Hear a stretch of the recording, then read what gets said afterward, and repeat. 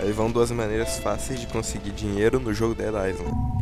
Precisa estar no Act 2 e precisa ter aberto a igreja e o galpão. A igreja você abre assim que entra no Act 2, é só matar o zumbi que fica na frente dela e entrar. O galpão você abre encontrando ele e matando os zumbis que ficam tentando entrar lá. Um jeito fácil de abrir o galpão é fazer a quest Last Chance on the Wall, que é desse desse cidadão. Did you get those posters up? No primeiro pôster você vai encontrar o galpão, fica bem na frente dele. Back already?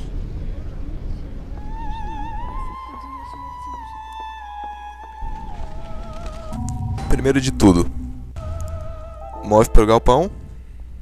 Você vai encontrar três armas. Essa, essa Let us put these poor e essa faca aqui em cima da mesa. Volta pra igreja e repete o mesmo movimento.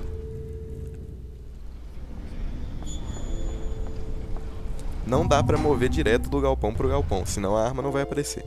Tem que fazer pela igreja. I hope you didn't forget about me. Yeah, uh, let us put these poor souls out of their misery. I worried about you. I Vamos fazer mais uma vez.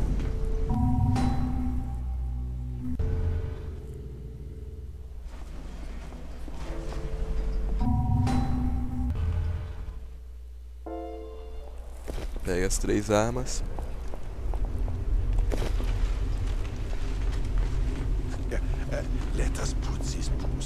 Agora que já pegou o suficiente, vai vender essas armas que você pegou.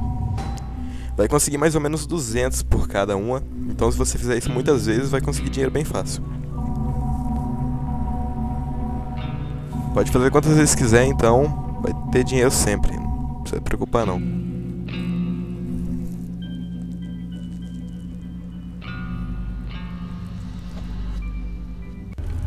Outra maneira bem simples é duplicando a arma. Tem um bug no jogo que facilita a duplicação da arma.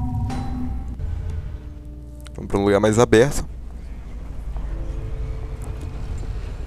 Você precisa de uma arma branca. Você mira para jogar ela. Assim que você jogar, usa o atalho do inventário, que no controle é para cima, no direcional, no teclado eu acho que é a letra I. Assim que você jogou, dropa a arma no inventário. Aí você vai ter duas. A que você dropou é a que você jogou.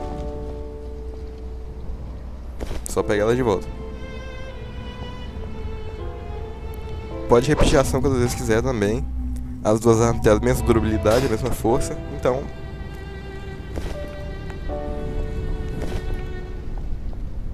É bom, é bom pra quem quer uma missão mais difícil e não tem muita arma boa.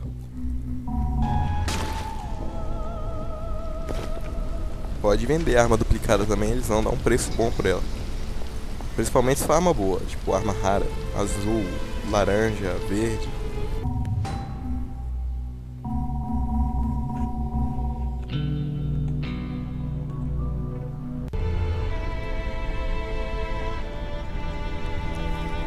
Esses dois modos já tem em sites americanos, mas eu decidi fazer um vídeo aqui traduzido porque nem todo mundo sabe inglês fluente.